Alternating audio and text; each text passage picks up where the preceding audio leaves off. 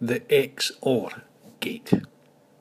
The XOR gate, or exclusive OR, has two inputs which we will label A and B.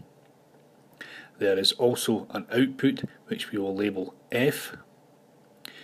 Each logic gate has a truth table which displays each combination of inputs and how it will affect the output at F.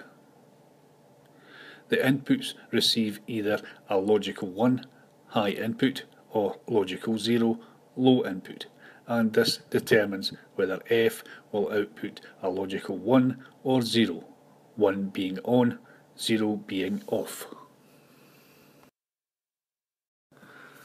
The truth table for a two input XOR gate is as follows.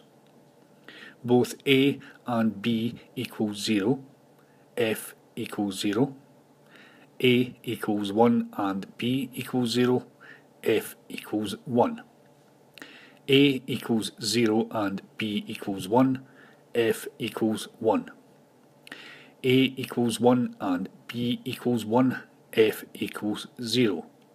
So the XOR gate will only produce a high signal when either A or B are set to 1. The Boolean expression for this is F equals A X or B. Let's go to the simulator to see the working model. In this circuit, we have placed an XOR gate with two logic sources at the inputs. At the output, we have a current limiting resistor and an LED.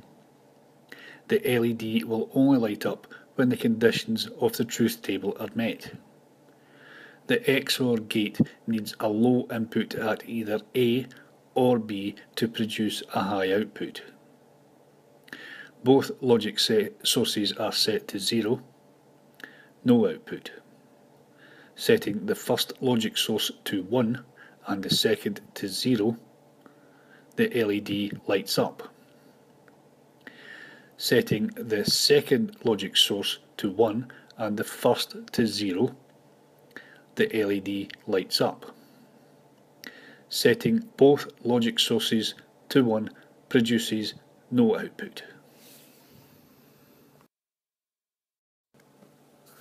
This matches the truth table for the XOR gate we discussed earlier. We can build an equivalent circuit using a combination of NOT, AND and OR gates.